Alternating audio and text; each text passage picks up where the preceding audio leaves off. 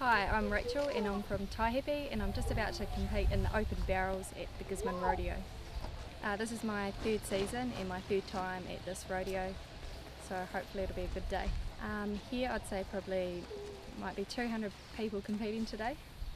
It's pretty tough competition, especially um, being a newcomer to the sport. There's lots of older women out here who are pretty quick on the times. Hopefully I go well today because I'm looking forward to getting some money to pay for my future entries. Um, I've had this horse in work since September as I went down south at Labour weekend and competed there so he's been worked ever since.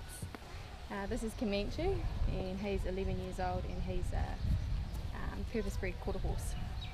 Quarter horses are usually the fastest horse over a quarter mile so they're quick and strong.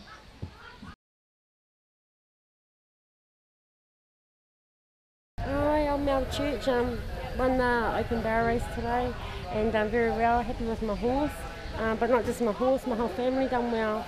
Um, husband won the rope and tie. Our son got second in the rope and tie, I think it was, and our daughter got second in the second division barrel race.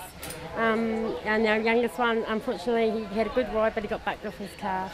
But yeah, hopefully it's going to be a good season for us. We have our finals in March, and um, which is held in Lawrence this year down the South Island. Uh, the points work on the um, um, amount of money that you make.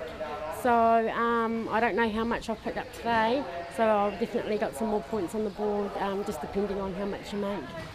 We're always training, um, just making sure our horses are nice and fit, whether it's um, not actually training barrel racing or calf roping, but just getting out there and riding our horses and spending time with them and bonding with them. And then when we get to the rodeo, we um, try and put everything together and yeah, um, it goes well definitely in the last um, three to five years, definitely picked up more competitors, more um, crowd spectators coming. I have a lot to do with the uh, Taupo Rodeo Club, and uh, this is the third time running this year, and it's well, last year we got around 5,000 people. So definitely the crowd population is growing, and as well as the competitors. Um, international, funny you say that, we had the International Rodeo up in Hamilton, and I competed in that as well um, me and Whistler. We got uh, first in the first go round. Unfortunately, we slipped in the third, uh, second go round, but we um, got a third in the average. So so far so good.